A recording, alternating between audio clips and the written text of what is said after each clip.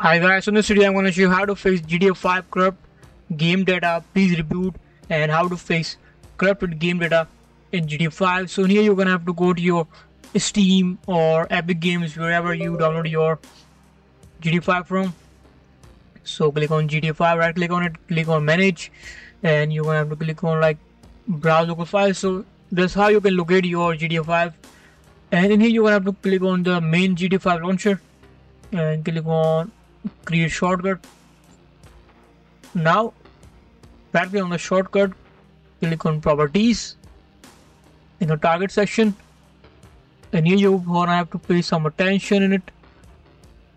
So give a space and a semicolon and click verify.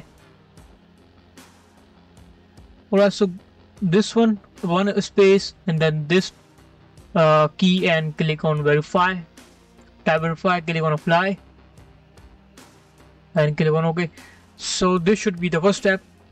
Guys so if you are using mods so you can do two things is you can simply reinstall ASI loader. And after the reinstalling you can go to the ASI manager and reinstall all the three plugins which I will mention in the video. So after after reinstalling all the uh, plugins this error will be solved so thanks for watching. This was the video for mods and without mods. Thanks for watching. Please subscribe. Bye